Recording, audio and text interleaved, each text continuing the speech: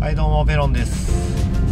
バンコクにいます。ラチャダーです。今ラチャダー通りをリバワディランスティット方面に向かって走っております、まあ、バンコクは金曜日月曜日なんかはやっぱすごく混むので皆さんあの車を運転する方はもちろんタクシーその他公共の交通機関機関を使って観光するとき空港行くときホテルとか取る場合はもう麻生区とか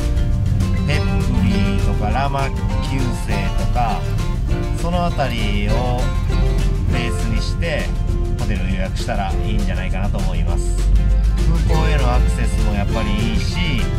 あのエアポートリンクね。エアポートリンクと、まあ、MRT と BTS とちゃんと時間さえ読んでいれば行けるっていう麻生区とかでタクシーに乗って空港行こうと思ったら普通に2時間かかったとかっていうのはざらにある話で中心からちょっと外に抜ける道がやっぱすごく混むので電車を使って移動した方が時間を有効に使えるのではないかなと思います。はい。ということです。ではではまた。